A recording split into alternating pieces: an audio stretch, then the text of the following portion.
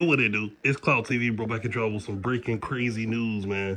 On a Chicago guy that goes by the name of King Yella. Another guy that goes by the name of J.H.E. Ruger. And another guy that goes by the name of Rico Recklezz. A lot of people been tagging me like, yo, Clout, have you seen what King Yella has done? Uh, I didn't. I scrambled to the internet as fast as I could, and you know what? I seen it. It looks like King Yella has pulled up 50 deep at the park Rico Recklezz was at to watch him fight J.H.E. Ruger. They said that they didn't see anything. They didn't see nobody. It was quiet. All you heard was crickets out there.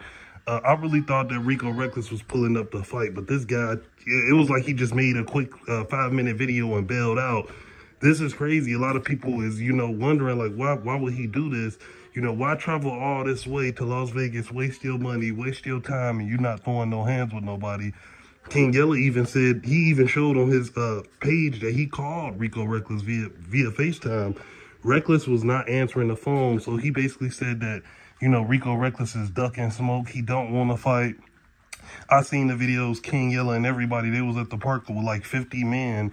I know that they wasn't going to jump this guy. It was just everybody paid to see this fight. We thought that it was happening Friday. It's Saturday now. I guess no fight is going down. Rico, man, you got to do better, bro. You got to stop.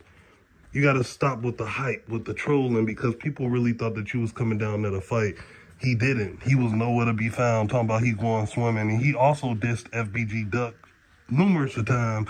He was at somebody's swimming pool and it was like a rubber ducky that was floating in the pool. He got in that rubber ducky's face, started pointing at him like, you know, this is all because of you. You did and this and that. Like, it was just very, very wrong, man. Rest in peace to King Duck. Y'all let me know what y'all think about Rico Recklezz duck in action and King Yella putting up to the park 50 deep waiting on him. Donate to Clout TV. Super thanks to video. Y'all have four different options to fit your budget. Really appreciate each and every last one of you guys. Hey, it's Clout TV, and we out of this thing. Gang.